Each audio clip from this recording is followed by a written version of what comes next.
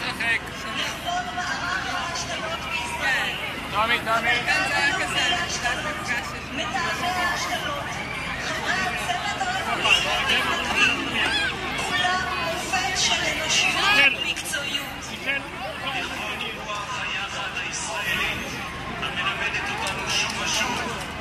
אנשים אחים אנחנו.